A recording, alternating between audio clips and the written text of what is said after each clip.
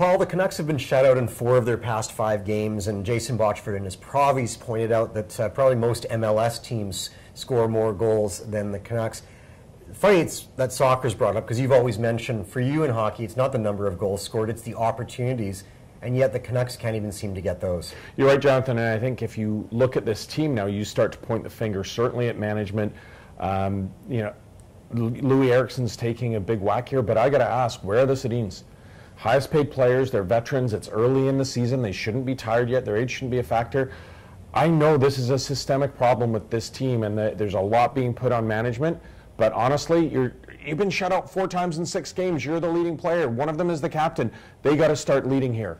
Yeah, but I mean, at the same time, you know, maybe the construction of the lineup in general, of how you put together a team on any given uh, But that night. shouldn't discount the fact that your top line should be getting a goal at least a goal, Jonathan. We're not even talking about a win anymore. We're talking about one goal. All right. If you can't score a goal against Toronto on Saturday night, uh, it only gets worse.